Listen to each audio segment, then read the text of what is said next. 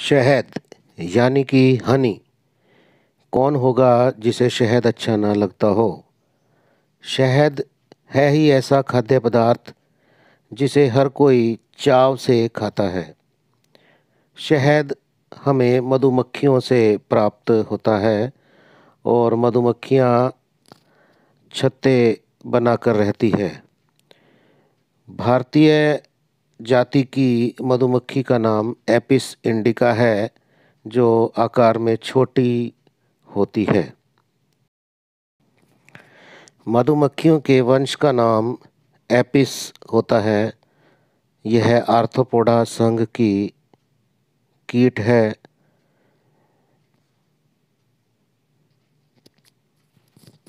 बड़ी मधुमक्खी Apis dorsata जिसको मधुमक्खी पालन में पाला जाता है, मधुमक्खी फूलों से मकरंद यानी नेक्टर लाती है, जहाँ उसको अपने प्रतिद्वंदियों से भी मुकाबला करना पड़ता है। आओ जाने मधुमक्खी पालन कैसे किया जाता है। और हमें क्या क्या प्राप्त होता है? मधुमक्खी को एक बॉक्स में पाला जाता है और बॉक्स उस जगह स्थापित किए जाते हैं जहाँ दूर दूर तक फूल वाली फ़सल, जैसे सरसों कड़ी पत्ता कोई फल की फ़सल, बाजरा, सब्ज़ी लगाई गई हो या विशाल मात्रा में, कीकर यूकेलिप्टस इत्यादि के पेड़ हों। यमुनानगर में भी श्री सुभाष काम्बोज जी एक बहुत बड़े बी कीपर हैं। वह मधुमक्खी पालन करते हैं और उनसे शहद व बहुत सारी अन्य चीज़ें प्राप्त करते हैं। मधुमक्खी पालन में शहद के अलावा बहुत से सह उत्पाद, बाई प्रोडक्ट्स भी प्राप्त होते हैं, जिनमें bee pollen, comb wax, bee propolis royal jelly व बी वेनम का भी उत्पादन किया जाता है।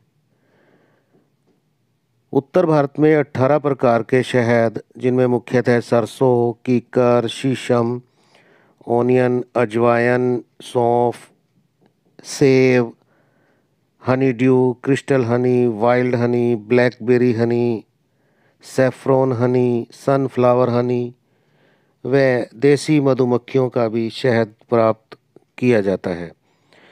ये आप मधुपराग देख रहे हैं, जिन्हें बी पोलन कहते हैं। यह एक बहुत उत्तम सह उत्पाद है। क्रिस्टल हनी, बी पर पॉलिश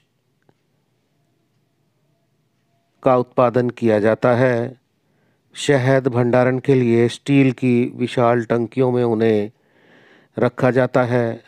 बी वैनम असल में मधुमक्खी का डंक यानी विष होता है, जिसका उपयोग कैंसर इत्यादि की दवाइयाँ बनाने के लिए, गठिया की दवाई बनाने के लिए किया जाता है। मधुमक्खी के छत्ते से हमें मोम भी प्राप्त होता है। हर रोज़ शहद खाने से टाइफाइड, दमा, कब्ज, रक्त अल्पता, ब्लड प्रेशर, समस्या, कुपोषण, विटामिन, खनिज, एंजाइम की कमी नहीं होती। रॉयल जेली का सेवन करने से तो ट्यूमर तक नहीं होता। यह देखिए आप रानी मधुमक्खी देख पा रहे हैं।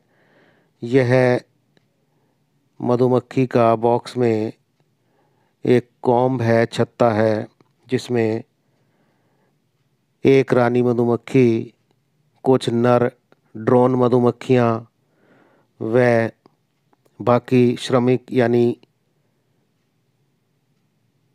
कामगार मक्खियाँ होती हैं। देखिए, रानी मधुमक्खी विचरण कर रही है। ये है रानी मधुमक्खी जो आकार में बहुत बड़ी होती है और ये नर मधुमक्खी है जिसे ड्रोन कहते हैं। नर मधुमक्खियाँ भी कुछ मात्रा में ही छत्ते में होती हैं।